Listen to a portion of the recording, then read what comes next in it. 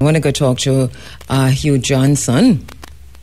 Uh, Hugh Johnson, as I told you before, immediate past president of the Jamaica Small Business Association. But he's speaking this morning in his capacity as a member of the State of the African Diaspora and also as one of the organizers of the direct flight to Ghana, the upcoming direct flight to Ghana. Good morning, Mr. Hugh Johnson. How are you doing? Good morning, Kabu. I'm doing well. All right. To your listeners, good morning. Right. Thank you so much for your patience. We're joining you just a little bit late. But, um, uh, well, uh, the two things the State of the Africa Union and also the uh, upcoming trip to Ghana. But quickly, you're no longer the, the president of a small business association? Correct. Um, for almost a year now, yes. we have a new president, still on the board as immediate past president, but no longer in the driver's seat. Okay. Se. All right. Well, you had a good innings, great work. And uh, welcome to this other side now where you're looking at Africa. So you've got Africa in your sights in a serious way. Correct. Correct. Mm-hmm. All right. So, first of all, we talk about the state of the Africa Union. What is that exactly? Um, the state of the African diaspora is different from the African Union. The state of the, um, Africa is made up was made up of five regions north, south, east, west, and central. Yes. For about 13, 14 years now, the African Union got together and legislated to create a sixth region. Yes. That sixth region comprises um, over 350 million Africans living outside of continental Africa. Mm-hmm. But over the last three, four years, um, the then president of the African Union got together and appointed um, Dr. Louis George Tin to lead that sixth region, that, that, that group of persons. Mm-hmm. And he has set out to create a virtual government, a borderless government, which we have in place members of parliament in many countries around the world, ministers of government, ambassadors, and it is functioning and creating ways and bringing the diaspora to Africa and the African continent to the diaspora. All right, so so let us take that slowly. So you're saying that, all right, so the, the, the sixth region, um, because CARICOM talks about the sixth region, the government of Jamaica talks about the sixth region, the Reparations Commission, the Reparations Council, and the um, CARICOM Reparations Council, they all talk about the sixth region. Um, how does this, the state of the Africa diaspora, um, that you're speaking of, how does this fit in with all of uh, all these other institutions that have uh, somehow tapped into that sixth region? Is this it, does this in, uh, encapsulate everybody? What's the umbrella uh, group? Okay, the sixth, as you know, the sixth region is the African diaspora living outside of Africa, and we Yes. are signing the state of the African diaspora. We have been signing um, treaty agreement, cooperative agreement with all these many states functional fu- fu- functionaries around that are um, Pan-Africanist, Afrocentric, and promoting the same agenda. That's our aim, objective, and it's happening seamlessly. Just to tell you that just two weeks ago, um, the State of the African Diaspora, we have launched our university, and we have had All right. So before you go to the university, basically what you're saying is that this is separate and apart from what government agencies and CARICOM would be looking at. This is a this is a separate body, the state of the African um, the Africa diaspora. correct, correct. All right. Uh, and and um, but one of the things I heard you say though is that there that, that there's a person who was tapped to to lead the, the, the formulation. So who tapped that person? the the African the, the AU, The Africa Union. Right. And this person is now a part. Who, could you remind us of his name? Dr. Louis George Tin. So, all right. So Dr. Louis George Finn. Tin, T-I-N. Tin. T-I-N. So Dr. Louis George Finn is part of the state of the Africa diaspora. He's the prime minister. He's the leader of that body. Of Right. So he's been asked by the Africa Union to, to to drive this, but he's but he's doing this outside of government. He's doing this with um, just ordinary people. He's doing this with different groups across the African diaspora. Correct. And, Okay. and countries, because so far, um, countries have signed in, have signed in, um, signed cooperative agreement with the state of the African diaspora, and it's growing by the day. Yes. Who, who are the countries involved? Can you say what what countries are involved? Um, I'm not sure now. What I can do, um, Kabu, is to invite the PM next week on your program or when you have time Yes. to explain the, the whole ramification and the workings of that to you, which will give you a broader perspective. All right. on the- okay. Okay. All right. So we- we'll we'll get that together. All right. So in the meantime. Um, what, what has happened so far? Because you talk about a prime minister, so it seems as if there's a government in place. Correct. Right? Can you tell us about the government? Um, we have so far um, over 300 um, members of parliament across the globe and ministers of government. And I, I was sharing with you the, the, the glorious news of this university that was launched. And so far, even at Jamaica University, UCC have signed cooperative agreement with that university already, and many other universities around the world. Yes. And so the university that's launched is based where? It's a virtual university because, as you see, the situation now has pushed us to a different. Of realm. course, of course. Yes. There. Yeah, learning learning is going to be for the most part, and especially at the tertiary level, virtual for, for so many. Um, so so this university is now has now been launched, and um, is it up and running, or are you just about getting it together? It is up and running with over 20 faculties as we speak and growing. And how many students? Um, thousands of students. I'm unable to give you a figure on Yeah. that. no. And it's called the State of the African Diaspora University. University of the State of the African Diaspora. All right. So we, we and we can find that online. Correct. All right. So for our listeners who want to, more information on that, you could always go online and, and, and check that. Um, Yeah. All right. Uh, uh, yes. Go ahead, Hugh. a part of our greater mission, when they claim to give us political independence, um, the colonial masters, they held back economic independence. Mm. And that is one of our mandates to claim that and take it.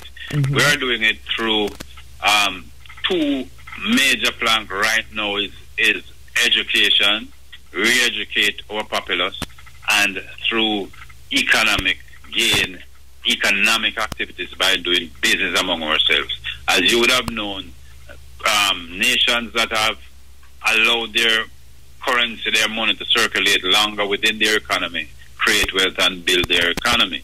While the black race, the world over, it doesn't stay among us for more than six hours. And for that, we are where we are. We intend to change that by, first of all, start to doing business among ourselves. And as you know, in business, business is 90% relationship, 10% product. Mm-hmm. We are building that relationship with our brothers and sisters on the continent.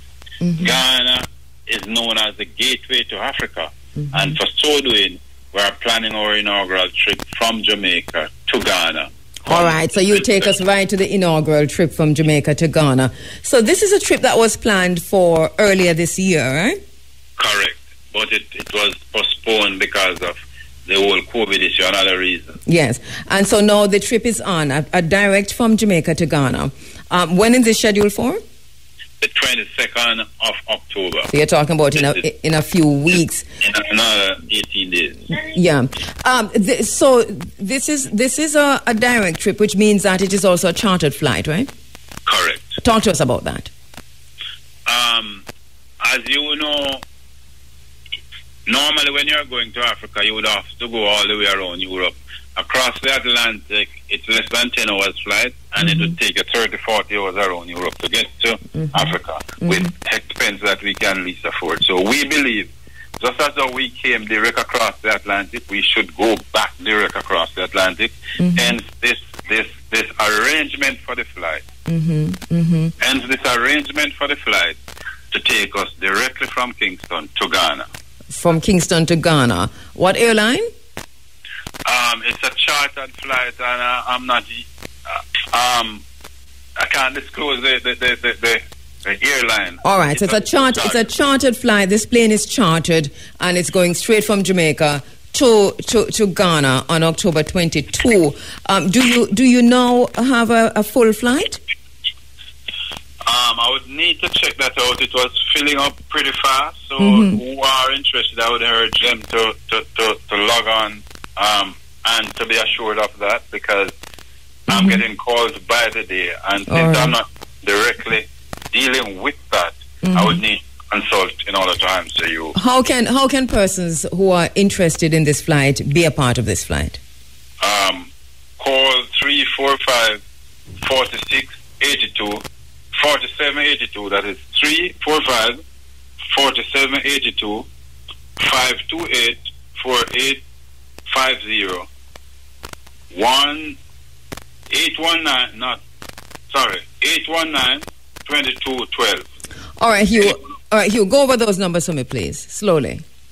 345 4782 528 48 five zero eight one nine two two one two. All right. Um, what can you tell us about the the cost and uh, um, hotel accommodation and what the what the what the tour includes? Um, the itinerary is already um, established. We'll be going to the castle. We'll be going to all of the attractions. Of course, you mean, of course, by the castle, you mean the dungeons, right? Right, right. Right. That, right. So, so, you'll be going to the dungeons. You'll be going to where else? Um, the the graveside, the the, the slave river. Oh, you're going to I mean, uh, uh, Assin Manso. So Assin Manso. Mm-hmm. Uh, we'll be going to the Ashanti Kingdom to meet the king. That's in Kumasi. And, right. We'll yes. be meeting also, and we'll be going up in the mountains, and we'll be mm-hmm. meeting um, dignitaries in Africa, governmental personnel. Okay. Um, what's the cost?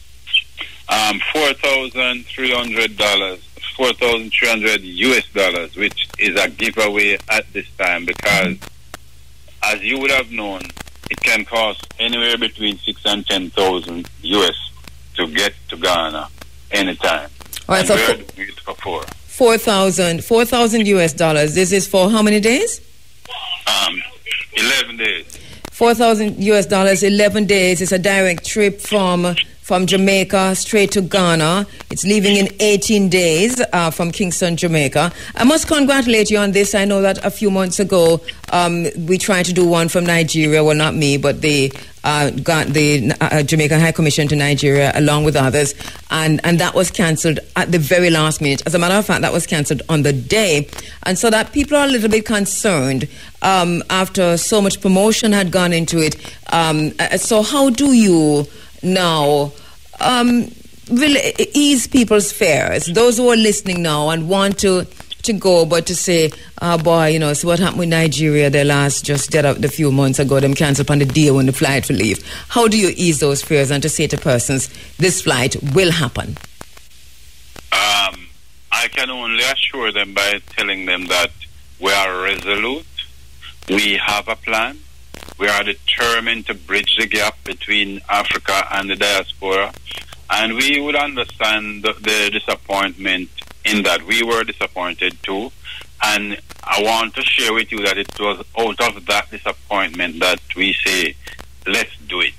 Because, um, as you would have known, we don't have the sway or the authority over governmental agency as they operate. Mm-hmm. And they choose to act in a particular way. Mm-hmm. And um, we believe that business need to be left to business people to run because on this inaugural flight, um, Kabu, mm-hmm. we'll be having a lot of business persons, yes, companies, agencies seeking mm-hmm. to do substantive business with their brothers and sisters mm-hmm. on the continent that carries 1.4 billion market. Yes, uh, brilliant. It sounds really good. So, so the, what about visa issues? Um, obviously, that's not a consideration. Visa from Jamaica to Ghana? No, no, no longer a consideration because Ghana did say last year that we don't need visas. So, so and and you have double checked on that, right? yes, we have. Just say Yeah. right. No visa requirement, no Yeah. vaccine requirement. The only requirement is yellow fever. Right. Well, you Uh, do well, and that's a vaccine, though. You know, so you do need the va- you do need the yellow fever vaccine, and that. I'm Yeah. referring to the third one. Yeah, yeah, yeah. You're talking about the COVID nineteen. All right. So no vaccine, no COVID nineteen vaccine requirements, but you will be required if you're traveling to Ghana to travel with a vaccine passport, and that would be for the um, for the yellow fever um, vaccine. Um, and, and of course, the yellow fever vaccine can only be had in certain places. So, for example, the Comprehensive Health Clinic and maybe another clinic in, in, in Montego Bay. So, for persons who have not yet signed on and they're going to be doing that today or, you know, in the, in the few days ahead, um, what should they know about vaccination? The ye- Uh, yellow fever. These these numbers that they would have called would have given them a, a, a comprehensive um, list of things. And Yes. we are running advert. We are running. Um, Friday was one of our um, yellow fever vaccine blitz where they accommodate us. Mhm. Um, the, it was one of their regular days, but because we had um, substantive am- amount of persons Mhm. who were willing to do it, They allow they, they arrange for that. So that can be arranged. Call any of those numbers, and you'll be guided accordingly. All right. So once again, just to say that the direct flight from Jamaica to Ghana is scheduled to leave on October 22 for 11 days for 4,000 US dollars. And uh, um, once again, give us the numbers, Hugh. Um, three four five four seven eight two five two eight four eight five zero eight one nine two two one two. All right. Thank you so much. Hmm? There's also a WhatsApp number which is 850 858 4918. All right. 84918. That's a WhatsApp number that you can send text your message to that number and they, you'll be guided accordingly also. All right. Thank you so much, my brother Hugh Johnson, immediate past president of the Jamaica Small Business Association.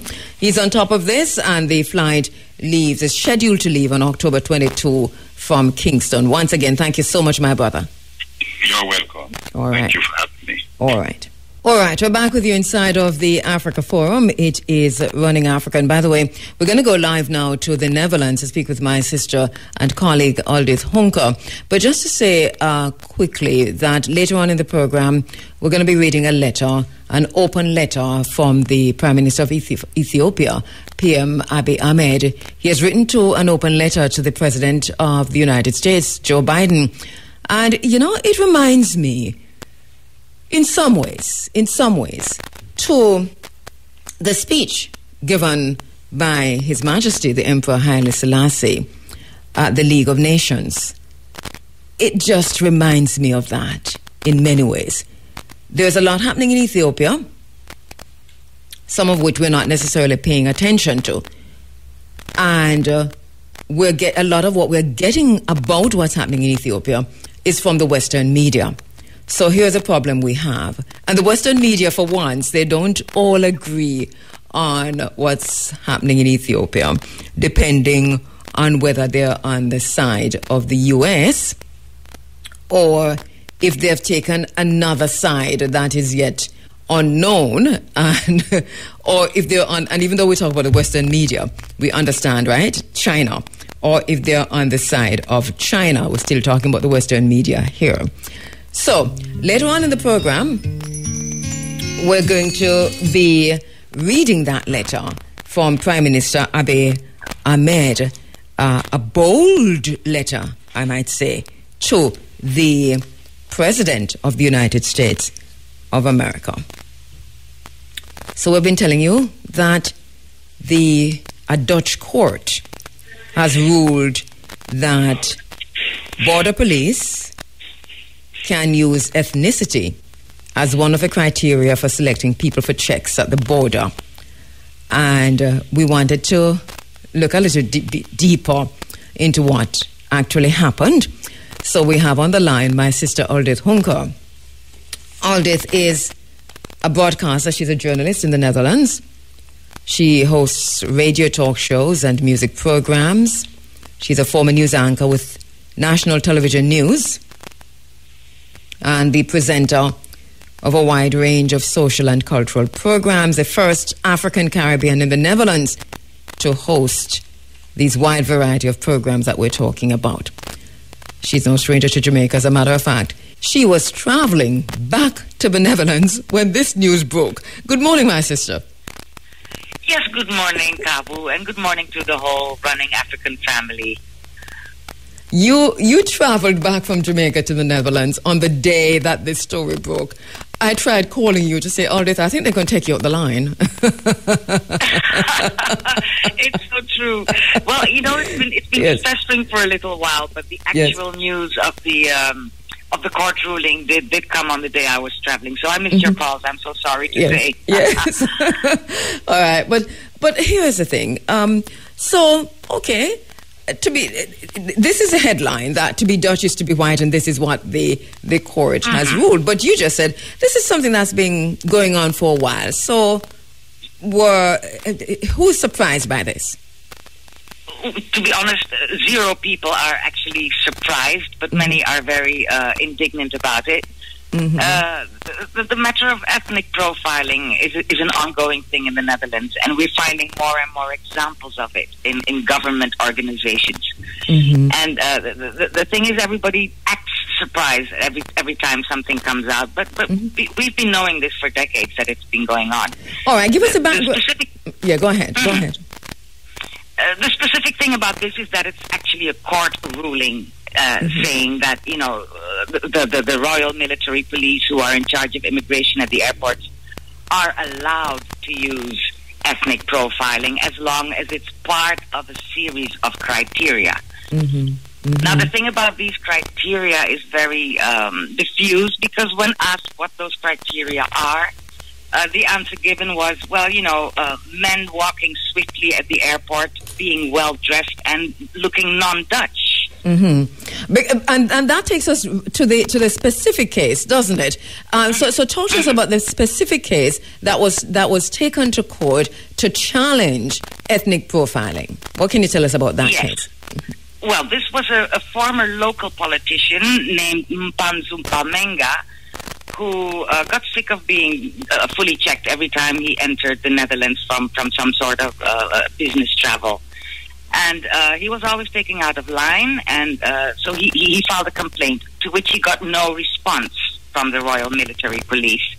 And then he took it to court together with uh, Amnesty International and a couple of other Dutch human rights organizations. And and, and, and these organizations uh, organizations, in my opinion, rightfully state that this kind of ethnic profiling is in direct disaccord with the first article of our constitution which states that all those living in the Netherlands shall be treated equal regardless of religion, race, gender, or whatever other grounds. Now, this judge has ruled that ethnicity, and like I was saying, mm-hmm. ethnicity mm-hmm. can be used as long as it's not the only criterion, but the rest of the criteria are really diffuse. So mm-hmm. it does raise the question of who does look Dutch. You, you have to understand, Kabu, that 14 0.2% of Dutch citizens have a non-white background. But we are not talking about the 10.7%, which is almost the same number of Dutch citizens who also have foreign roots, but who just happen to be white.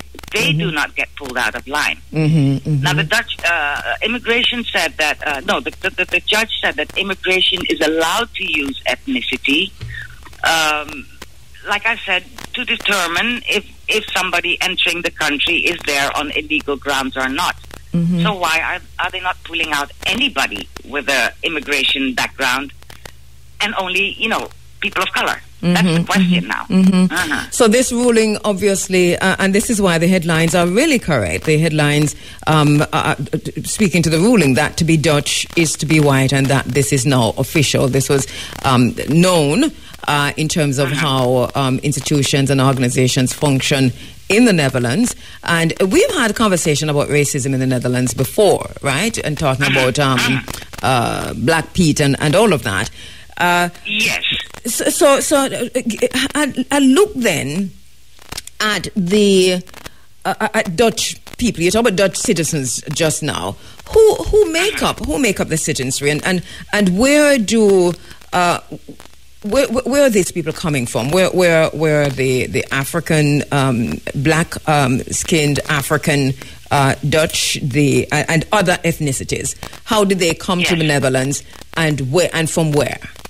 Over time. Well, there's, there's a whole variety. I mean, people like myself I'm mm-hmm. a black Dutch person, mm-hmm. and I am a, a, Dutch person because of colonial history, right? I was mm-hmm. born in Suriname, and I am actually multi uh, multi ethnic myself. But uh, you know, to the Dutch viewer, I look I look black, mm-hmm. and uh, so I am Dutch because of history. But there's also people coming in from countries like uh, you know Ghana, uh, Nigeria, uh, all, all, over Africa. Mm-hmm. Mm-hmm. People coming in from Asia and now we, we've, we've got refugees coming in from Afghanistan, Syria, etc., etc.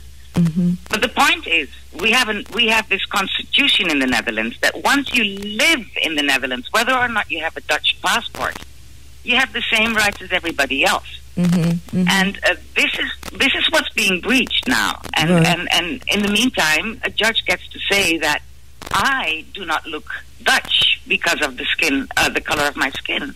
Right. So, so is there, what are we going to do about this? What, that's the question. What, what's the level of outrage? What what is being done, if anything? I understand that there is an appeal on the ruling, but mm-hmm. but how are uh, how how is the community, um, the multi ethnic community, responding to this ruling? Oh, people are infuriated. I, I, was I was watching this online when I was still in Jamaica. You know, I just got, came back, like you said, and mm-hmm. I was watching this online and there, there, there have been petitions, one that I signed myself, mm-hmm. uh, newspapers uh, uh, crying out about this in, in, in Dutch uh, talk shows. People have been talking about it. But the thing with the Dutch, you know, they love to talk and they don't like to draw conclusions. So it's just person A saying something and person B saying the next, and then we move on to the next subject. Mm-hmm. And we must keep in mind that the Dutch cabinet earlier this year, we spoke on that as well. Yes. The Dutch cabinet fell over an ethnic profiling situation at the tax office. Yes. So we yes. had we had new elections, mm-hmm. and they've been trying to form a new cabinet ever since, which is more than six months already. Mm-hmm. So how, in a country where this is happening, can a judge actually rule that it's okay to decide who is Dutch and who is not? And then to do so, and then to do so um, in, in the worst way possible by skin color. You know, to uh-huh. say uh-huh. that um, to be Dutch really is to be white, cementing that idea uh, and lumping together skin color and nationality. Um, and illegality. Don't forget that. Mm-hmm. Is, is, this uh-huh. is this now taking it a step too far? And and and and with all the conversation, you talk about no necessarily not coming to a not necessarily coming to a decision. Um, is, is, do you think this is taking it one, t- one step too far with Black Pete, with the cabinet recently, and now this? Uh, I, I, certainly believe so. We have we have to wait to see what happens when um, this um, judicial error. This is not me saying this. This is Dutch lawyers calling it a judicial error. Mm-hmm. It will be taken to the court of appeal. I'm not pretty. I'm not sure when the date of that will be. I, I tried to look it up, but I, I, don't think it's it's clear yet. Mm-hmm, when the mm-hmm. Court of Appeal, uh, uh, if the Court of Appeal were to decide that this judge made a right decision, I really don't know what's going to happen because um, th- this is possibly going to end up really ugly. Wow. Um, for, for us here, uh, but you know, sometimes it, it pays to lance the sword, to lance the um, the pus-filled st- swords, um, to, to, to heal the wound, you know. And um, maybe this is something that has to happen, not just in the Netherlands, but in so many other countries. But we've been looking yeah. at the Netherlands for some time. You know, for, for, for ourselves here in Jamaica, I'm quite sure that we can identify with the Dutch East Indies, you know, the Dutch Antilles. Yes. You know, these are conversations we have, and th- these are words we just throw out without even thinking um, too much about it when we talk about the Dutch Antilles or the Dutch East Indies, you know. And so that if you think about colonization, if you think about slavery and colonization, and the fact that the Dutch participated in slavery uh, and and colonized um, Caribbean countries and colonized um, Yeah. people generally, and then to turn around and, and, and to beat the hell out of black people to say that you are not African, take You your African name away, and you are you are Dutch, and then to turn They, they, around. they, were- they were among the worst colonizers. We have to say this. Yes. Yes. Go ahead. And then to turn, around, yeah, and then to turn around and, and, and a ruling like this, ruling like this comes out of, of the courts, it baffles the mind, you know? It does. But you have to know, from, a personal level, uh, Kabu, every time I speak in public and I say we, meaning we the Dutch, Mm-hmm. it, it, it, I have to add a sentence to explain to them why I call myself Dutch. Oh. This, this is so ingrained in culture, and Yes. it, it's it's a very difficult conversation to have here in the Netherlands because people people were brought up in school uh, not knowing about these things. So even today, we have to keep reminding people why. I have every right to call myself Dutch. Mm-hmm. Not even from the time I'm, I've been living in the Netherlands, for, but from the day I was born. Mm-hmm. And this is something that the Dutch really do not understand for some reason. So it- it's going to take a while. It, it sends it sends another message to us because um, we saw recently, not so recent, um, where the UK, uh, you know, has been kicking out uh, the Caribbean people. I think maybe with Brexit, they're, they're having a change of mind, and um, Yeah, and, and thing, yeah. and, and and mother, you know, the the, the, the motherland became um, to, to a lot of uh, you know black people who went, Caribbean people who went in, who thought they were English to boot, you know, that they were booted out. Uh, and so, but the message that that is sending to us, whether we want to, yes or no, basically, this is what it's saying, I think. Whether you are ready for it, yes or no, um, return to your roots, return to your source, identify yourself as who you are. Uh, uh, uh, uh, race first, as Marcus Garvey would say, Molimu, and then um, everything afterwards. Uh, Because if we begin to claim, I think, our African heritage, wherever we are, whether it's in, in Europe or the continent of Africa, because there's so many who who would identify as other on the continent of Africa, Yeah. with, or within the Caribbean, then a ruling like this is, isn't. Do you? To what extent do you think a ruling like this um, is pushing us toward uh, uh, saying, you know, rejecting the the colonial monikers? Well, well I'm certain. I'm certain it will uh, be a big factor in that. But the, the, the, question is, persons like myself or this this poli- ex-politician I'm, uh, we're talking about, Mr. Uh, Bamenga, what does it tell us to do? It, it does it tell me, for example, to stop identifying as a Dutch person? I believe I have a right to that. Even even if it's only a historical right, I have the right to my passport. I have a right to all the uh, the rights and, and duties that I have as a Dutch person. If I take away that myself, I'm giving in. That's the way I feel about it. hmm But right, because this is a this is a complex conversation, isn't it? It's not just linear. You know, you really do have to look at the many the, the, the many strands of this and the different elements, multifaceted, really. Uh, and so, I don't think that this is a one one-off conversation to have. But for African people, I think it's saying something that so many in Europe. Um, uh, uh, uh, European countries, I'm talking about, governments have been treating Africans away. We're, we're, uh, I'm, I'm looking for example, at what the, the, the so-called migrant problem um, that we see we're seeing in Spain and Italy and and, and other mm-hmm. Euro- European countries, and the way Africans, continental Africans, are being treated, and it it, it, it is uh-huh. sending a message, I think, to Black people to say we need to have a conversation. What part? Who's who's to who is to lead the conversation? Uh, who are we going to con- converse with? And this who is will a- be listening? And this is the question I was going to pose to you now to say what part, what, what, what, what do you think um, the what part reparations and the conversation within reparations and the reparations commission, CARICOM reparations commission, we have um, reparations um, councils across Europe and so on. What role do you think that space can play and provide in facilitating this conversation? say. Marcus Garvey tell we say we're not gonna know ourselves until our back is against the wall. Mm-hmm. And every time our back is against the wall, we are forced into that reservoir of memory, like how you make kenkey from memory. Yes, thank We you for that. That's a heritage. Yes, but it's also yes. personal. Yes. And we are forced to go into our memory and say how we do this. How Yes, we do this. yes. Those doctors from the Kingston Public Hospital who who took it upon themselves in a beautiful way a few months ago and started to show us how to make turmeric tea. Where then get it from? Uh, Then we go there and go experiment with all the things. I mhm. think that turmeric can make tea for certain things. Yes. No, we always knew that. When we had chickweed and people start calling and say, look here, what the doctor them a tell you now work, you know? If, if you get three leaf, them never say two, them never say one. 3 Mm-hmm. leaf of this thing.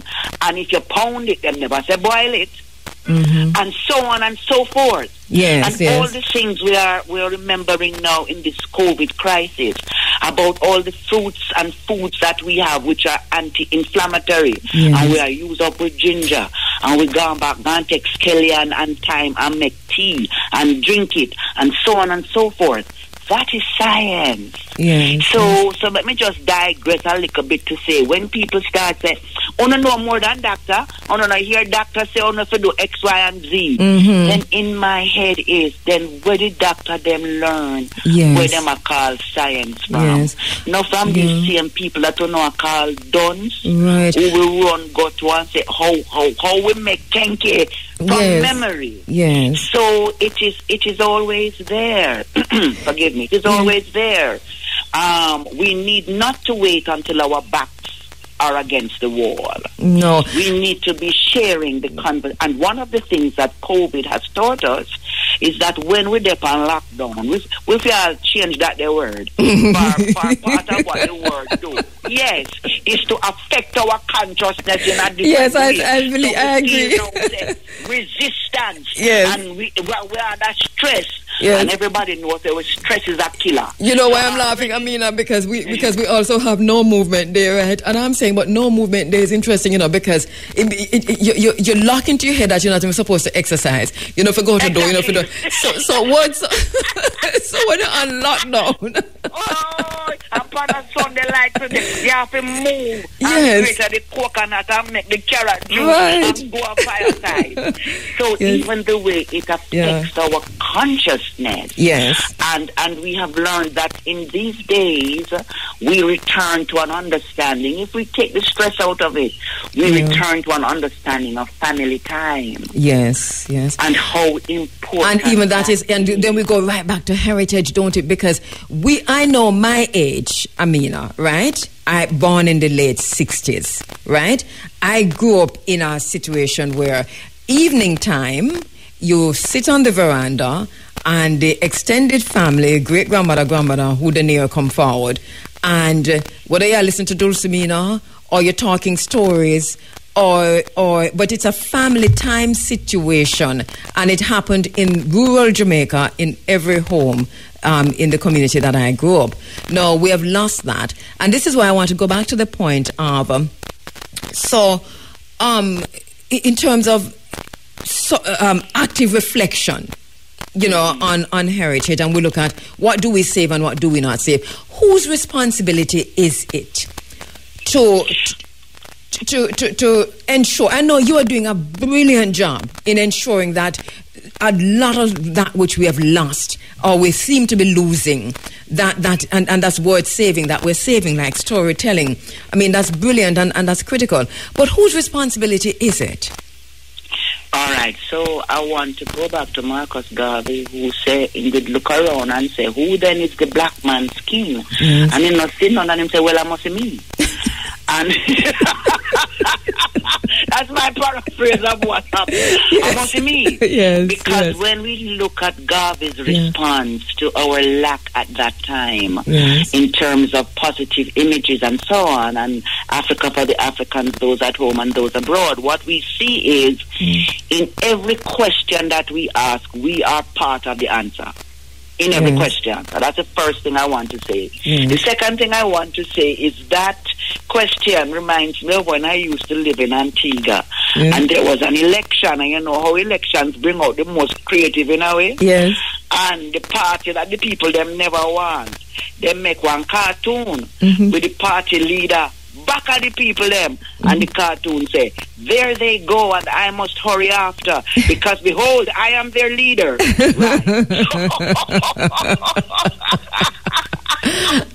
Asked and answered.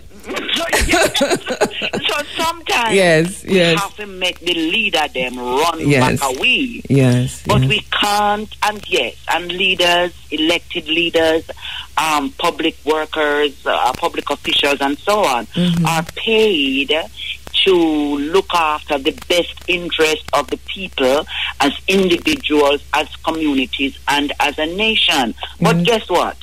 Some of the people who are elected officials, some of the people who are paid public officials like that, Yeah. come out of the same pathology Oh, yes. come out of the Yes. same pathology that mm-hmm. we're trying to save mm-hmm. ourselves from and to save who we are and to save what is important to us. Yeah. I see. So then we Yes. can't always depend on them to know or to know it all. Mm-hmm. What we also need to do is to form and or strengthen those mechanisms by which we say to them, come listen to me, we're going to make kenkey. We're going to make kenkey. Yes, I see, and this is what China is doing now. And uh, right as we speak, um, just re- going back into itself, that which it did um, thirty odd years ago before it come back out as as world leader, going back into itself this time to say and saying to, to its citizens that listen, um, we are losing our heritage, we are losing our culture and we have to return to the source. But that that is coming from the top down. Not much resistance we're seeing, but we, you know, obviously, I, I suppose there might be pockets of resistance. But but do we need a situation like that where there is not necessarily top down, but where the people are are somehow engaged, whether it is through education, whether it's through the church, whether it's through what, whatever institutions, um, uh, on what what what what what what to save, returning to the source. Yes. Um, we, what yeah, memories to enjoy? I was thinking of Singapore as well. Yes. Because Singapore came to realize that it had sacrificed its culture and heritage Yes. in the name of becoming an economic giant. yes. And so they they embarked on a program. I, I haven't Right. followed how successful they have been. Yes, what we need Mhm. Need to look at that. Is yes, what we need is to engage with ourselves, our youth clubs, our mothers union. We don't even know if these things still exist, you know, Not really, not really. I mean, uh, the know, youth clubs are. even the way Yes. of honoring um, people who have lived with us. In a this COVID, if we're not careful, we're gonna lose it. Yes. Our people dead, and them are buried, and nobody can go. So it's like them never did live. even that as part of our heritage. You know, my, right. my father died, and and and and I, you know, the, the, the I I can't even talk. One of the worst things that could have happened, you know, uh, although we we really celebrated him uh, and continue to do that, is the fact that you know the the, the, ritual. Of burial, Right. we could not observe, and we still Right. feel like we, we lost something in the in the pandemic. You understand Yeah. more than our father. Yes. So, So- we have to be very careful about Yes. that. Yeah, that's that's the way we say goodbye or travel to the next world. It's Yes. very important. Of course. The community come together. Of People come cry with you. Of Uh, course. we feed ourselves and we feed those who we don't see but who we know are present Yes. as such an important part of our culture and our heritage that we just have to safeguard it as the best we can in this period of nobody go bury nobody. I'm going to turn 10 on go and go put him down and it done. Because it mm. can't. It, we, the, the reverence for life As part of the heritage. Yes, we need to engage. The, Yes. the, the people who are culture workers, who more and more I call development workers, Mm-hmm. and recently I've begun to call them spirit workers. Yes. The people who work in all of these fields have to be so reflective and so responsible because some of the folk song where we sing, we should never did sing them in the first place. And that takes us to what should we keep and what should we throw out. But I mean, Guess what? I'm totally out of time, you know, so I have because we're going to and the. so we can chat. Uh, but we do it all the time. we do it all the time. But I'm going to give you the I'm going to give you a final word just to tie everything together as we talk about heritage and Inter Heritage Month. All right. Well, mm-hmm. let us end with that point then. That yes. as we mount our celebrations for this month, be very co- conscious of the content that we are promoting and what that might do to young minds or young hearers or even other people who mm. say they're not them that mm-hmm. and let us reflect um, that content, which will also shift our consciousness and take us to another level of shining mm-hmm. when we come to celebrate what we call heritage. I love you, my sister. Love you, Sue, my sister. Dr. Amina yeah. Blackwood Meeks. We have to put the doctor on. Thank you, my sister. Thank you so much. Well deserved, yes. All right. All right. Lots of conversation in Jamaica this week and the last two weeks, I think probably two to three weeks now, about rape in Jamaica. Um, a topic that we have discussed ad nauseum um, on this program for many, many moons on another program I used to do on Tuesday nights. And um, to look specifically at attitudes to rape uh, in Jamaica, in particular, as opposed to other Caribbean countries, and also as opposed um, to the international, to you know, the wider global community. Uh, so we're hearing uh, two things. One, I watched this interview with uh, my sister Tanya Stephens, and you know, my heart, my heart um, to her, um, Tanya. Um, told her story. Uh, she's been talking about this for the while for a while, but I think this is the first time that she has actually sat down and told her story to anyone publicly in this way about how she was raped as a 17 year old and um, by someone she said was a prominent entertainer in Jamaica. And I think this is the first time that she has come this close to naming who the person actually um, is, who um, she says raped her when she was 17. And then she also talked about being raped, being gang raped, literally, um, in the home of a friend. Um, a friend whose father was a policeman, so that in, a, in the home of a police officer uh, sometime after. And, and I know it must have been very painful for you, my sister, to speak about that, to publicly talk about that so many years after. I could still feel your pain, still see your pain, and I know you're dealing with this in the best way that you possibly can. But what Tanya has done is that she has given um, Jamaican women a voice to bawl out, to speak out. And I know she, and I can, I could hear in the interview that she, she, she, she, she, she is thinking about, you know, the time that it took to speak out and so on. But Tanya, no, my sister, you, you know, time is relative. And so you're talking about it now. It just happened. You know, whenever you talk about it, that's when it is. So, so, so, so, so speak your truth. Speak your truth and know that you've got sisters who've got your back on this one. Um, for, for many moons, you've talked about being assaulted, but you've, I've never heard you come out in the way that you've come out. You've motivated others and you've given others a voice and the strength to say, Me too, me too. And I hope Jamaican women who are listening to Tanya Stephens will find the strength to come out and bawl out this is this is we did a series of programs in this space called Bawl Out. You must bawl out. You know, um, when you feel comfortable to talk, to bawl out. Don't be afraid to. Uh, and know that your sister's got you. Um, so, so Tanya has done that, and my hat's off to her, uh, and my and my uh, warm embrace to you, Tanya, uh, as you you speak this truth. Leave it there on the platform. Leave it there in the public sphere so that now Jamaica has a responsibility because they can't say they didn't hear to say, what do we do now and how do we do it? Uh, there's another conversation of going on where um, uh, a, a, a, young lady from Asia um, put out a video and she named a Jamaican artist who she says um, her. Now, one of the reasons why we're going to call the name is because the artist has come out to refute that. And so I watched that video. I heard um, the, the young lady, and then we have, um, we're waking up this morning to reggae singer Richard Stephens categorically denying allegations against him by a 27 year old female entertainer and ex soldier from Singapore. In a video posted on YouTube on Saturday, um, the Weakness for Sweetness singer poured cold water over the allegations. And um, quoting Richie, quoting Richard Stephens from the from the video, he says Miss Elaine Lim made some allegations. Some of what she said is true, but I'm here to tell you what is true. One, she was on tour with me in 2019 in Australia. Two, she made a formal report to the police against me. And three, she did a racket.